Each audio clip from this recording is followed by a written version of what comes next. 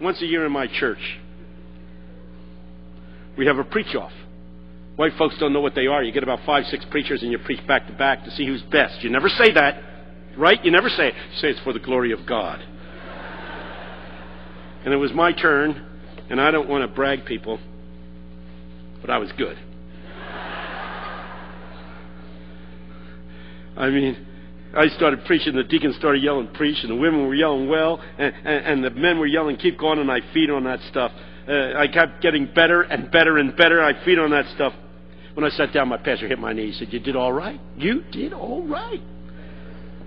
I said, You're next, Pastor. You going to be able to top that? He laughed. He said, Son, sit back. Because the old man is going to do you in. I didn't think he could pull it off. He got up, and for the next half hour, that sucker did me in. I couldn't believe it. He did it in with one line over and over again. It's Friday, but Sunday's coming. It didn't sound like much when he started. You guys often start so slow in low gear. It takes you about five minutes to get into high gear.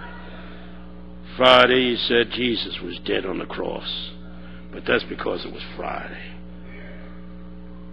Sunday's coming. Somebody yelled, Keep going, keep going.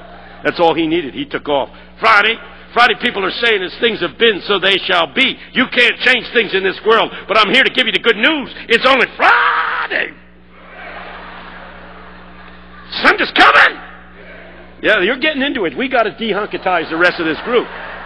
Friday, They're saying a bunch of old people meeting in the church on a Saturday morning cannot alter things in their communities and in their state and in their world. But here gives the good news. It's only Friday. Sunday's coming. Now, let's get into it, people. Let's hang loose. I'll give you one more shot. It's Friday, and they're saying a bunch of Baptists who are limping into a meeting cannot go out energized, ready to invade their communities with the good news of the gospel and the power of the Holy Spirit. But I'm here to tell you, it's only Friday. Sunday's coming. He went on like that for an hour. When he finished, I was exhausted. He ended that sermon yelling at the top of his lungs, Friday! Without hesitation, that whole congregation yelled back, Sunday's coming! That's the good news, people.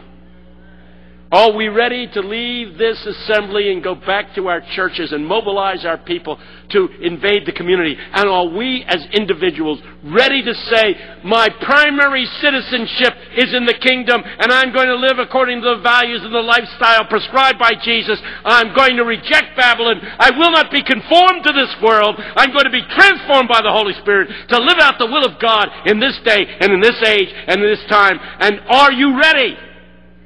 That was rather weak. Let me try that again. Are you ready?